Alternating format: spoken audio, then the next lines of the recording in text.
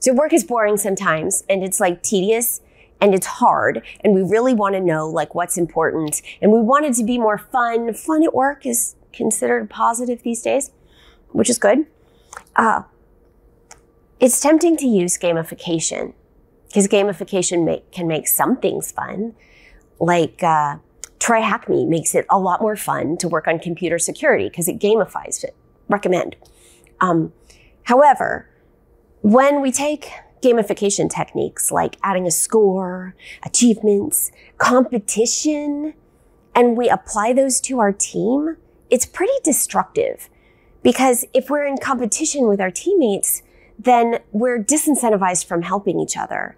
And we're, we're, our focus is narrowed to whatever the heck the score is. Maybe it's Jira tickets closed this week. We get so focused on that that we don't uh, we don't collaborate well inside or outside of the team, and we don't um, prepare for the future by keeping the code in good shape. Gamification in software teams is nasty. It's not an appropriate use of those techniques. But we can learn some stuff from games. Here's the trick. Gamification take scores and achievements and competition. It's taking these superficial characteristics of a lot of games. Not all games have those three things, but a lot of them do. It takes those superficial characteristics and slaps them onto someplace else. This works okay with Fitbit and counting your steps, although there's some weird incentives there too. Um, these superficial characteristics aren't appropriate in every situation.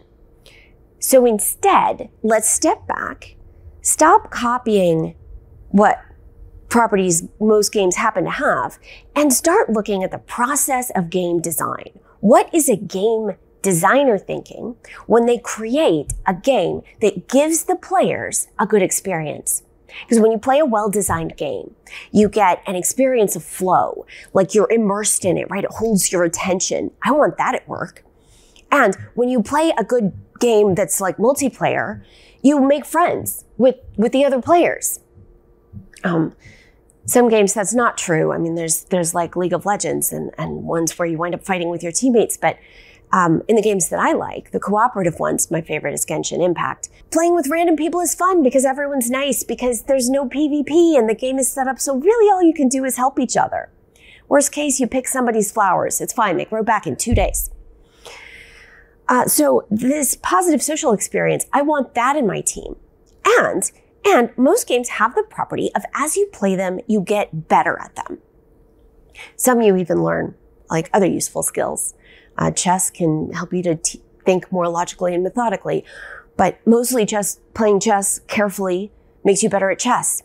And I want to get better at my job while I'm doing my job. Uh, so game designers work all these things into the design of the game. And they do that by working in the medium of agency. They set, game designers set up goals, rules, and abilities, and then the players choose to aim for that goal to get more victory points um, with the with the designated abilities. Maybe it's it's Scrabble, right? And I choose to care about the points in order to get the experience of playing the game. I choose to get points by making words with my letters on my turn. I choose the additional rules that it has to be uh, like a lowercase dictionary word and every, every, um, intersection that I create with my letters also has to make a word and it can't go off the edge of the board and all these other restrictions. We take those on because the net result is a particular experience an experience of concentration and flow, um, an experience of positive social interactions with the other players, and an experience of getting better at Scrabble. So let's take those and look at our software teams because on our software teams, uh, we also adopt a particular agency. Um, maybe maybe I, it's not like my wife mission to build a retail point of sale software or to improve it and add this particular report. But I choose to take this as a goal. It is, it is a goal of mine to make this software better. Uh, and I take this on with my team, and we're going to use the abilities we have. We have some knowledge of the the programming language. We have access to the code. We have some knowledge about the business domain. Um, and we have tools that, like our IDEs and our logs and our deployment systems, we have all these abilities and we choose to follow certain rules. I mean, our goal is to like um, maybe add a feature, add a report to this point of sale system. The fastest way to do that would be to log into production and update the PHP. But we don't do that. We follow rules um, that we have chosen for ourselves uh, that turn into enabling constraints, stuff like source control and um, and code review or pairing, multiple eyes on the code, um, automated testing, and uh, TDD. We choose uh, to take on these constraints because they help us later. We've learned that they make the game more fun over a period of time, or the work process in this case. Uh, right. So those there's parallels here between games and our work in teams, uh, and we can choose our goals, rules, and abilities such that uh, we get that that feeling of flow. If we have all the abilities to meet our goals, but also a challenge if something gets boring, automate it. There's always plenty of challenges in software development. Um, but if we have all the abilities that we need to reach our goals, then we can do it and we can dive in and make something work. And that is so satisfying, way more satisfying than competition. Um, and then like the rules and abilities interact to form the social experience. For instance, asynchronous blocking pull request review sets us against each other. I'm trying to fix this bug. You're trying to enforce the rules. Can we make a robot enforce the rules or like maybe synchronously work together to get the test cases in the state that you want them?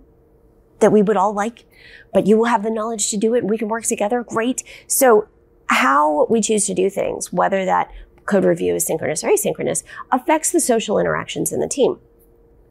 And finally, uh, let's see, we have the abilities and rules.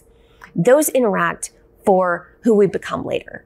Like when we choose enabling constraints, like reproducible builds, that increases our ability to do, say, roll forward or roll backwards, uh, to do repeated deploys. If we're not careful, the natural trajectory of software is always ossification. It's always getting harder to change because we got feature on top of feature on top of feature and every one comes with the invisible requirement of, and everything else still works. But if we're careful, if we choose to take a step back and think about refactoring, we're careful with our naming. Sometimes we break out a service. Sometimes we, we take the time to upgrade our framework. Um, the constraints that we put on ourselves and the abilities that we create for ourselves, such as continuous deployment, uh, these determine whether we can get more powerful as we go. In a game, we call this engine building. You can look that up if you don't know what it is. It's giving ourselves the abilities that we need to do better at our work or get more points in the game, and then using those abilities to move forward. Uh, so these principles of game design apply directly to uh, software development. And there's, there's a lot more in game design that we can apply to team design. And this is a form of looking at games, looking at our work, and copying the questions, not the answers. The answers are those superficial characteristics of gamification that don't work. I don't want competition in my team. I don't want to reduce to a single score.